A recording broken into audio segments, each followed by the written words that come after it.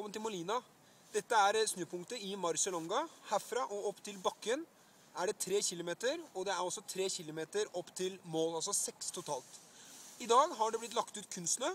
Molekylene er store, og det er litt, litt is. Derfor vil jeg anbefale dere alle å gjøre klar klistertuben. Dere trenger isklister, universalklister.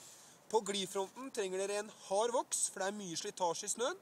Og så vil det komme litt nærmere starten om voks og pulver. Vi sees!